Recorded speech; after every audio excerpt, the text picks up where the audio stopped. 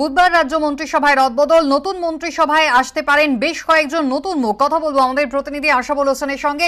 আশাবুল, কিছুক্ষণ আগেই সাংবাদিক বৈঠক করলেন মমতা বন্দ্যোপাধ্যায় এবং সেখানে বললেন যে, পাঁচ ছ জনের আসার সম্ভাবনা রয়েছে আর চার পাঁচ জনকে সরিয়ে আনা হবে। সেক্ষেত্রে কার কার নাম এখনও পর্যন্ত মন্ত্রিসভার তালিকায় সবার আগে উঠে আসছে? কি জানা যাচ্ছে? দেখো মন্ত্রিসভায় যারা আসতে পারেন বা সম্ভাবনা রয়েছে, তারা হলেন বাবুল সুপ্রিয়, তাপস রায়, উদয়ন গুহ পার্থ ভৌমিক স্নেহাশিস চক্রবর্তী। এটা এই জল্পনাটা আরও বেড়েছে, কারণ আমরা দেখতে পাচ্ছি যে পার্থ ভৌমিক তিনি দমদম ব্যারাকপুর সাংগঠনিক জেলা সভাপতি ছিলেন তৃণমূলের সেই পার্থ ভৌমিককে সেখান থেকে সরিয়ে দেওয়া হয়েছে।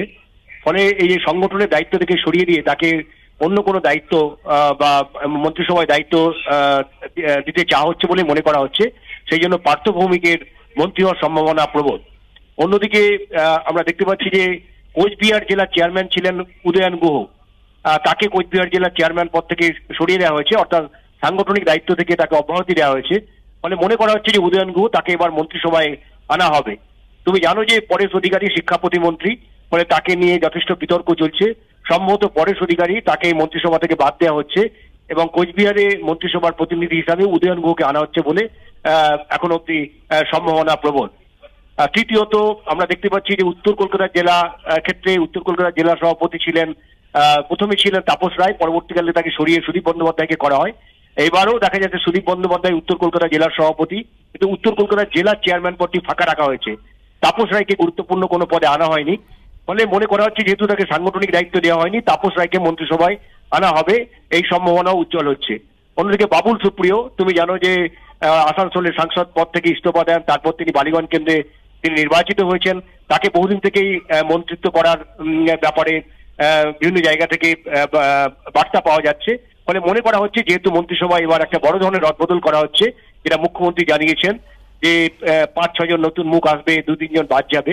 ফলে বাবুল সুপ্রিয় তারও মন্ত্রী হওয়ার সম্ভাবনা প্রবল। অন্যদিকে সৌমেন মহাপাত্র তমলুক যে সাংগঠনিক জেলার সভাপতি তাকে করা হয়েছে। সৌমেন মহাপাত্র, তিনি সেচ মন্ত্রী রয়েছেন।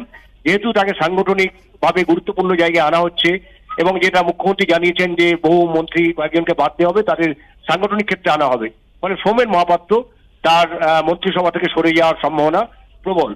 অন্যদিকে হুগলি শ্রীরামপুর সাংগঠনিক জেলার সভাপতি স্নেহাশিস চক্রবর্তী তিনি অভিষেক বন্দ্যোপাধ্যায়ের অনেক ঘনিষ্ঠ বলে পরিচিত। সেই স্নেহাশিস চক্রবর্তীকে তার সাংগঠনিক দায়িত্ব থেকে সরিয়ে দেওয়া হয়েছে। ফলে স্নেহাশিস চক্রবর্তীকেও মন্ত্রিসভায় আনার সম্ভাবনা প্রবল। এবং বুধবারই মমতা বন্দ্যোপাধ্যায় নতুন মন্ত্রিসভা গঠন করবেন, বৃহস্পতিবার দিল্লি যাবেন। ফলে এখন অব্দি এই নামগুলো নিয়ে জল্পনা চলছে। ধন্যবাদ আশাবুল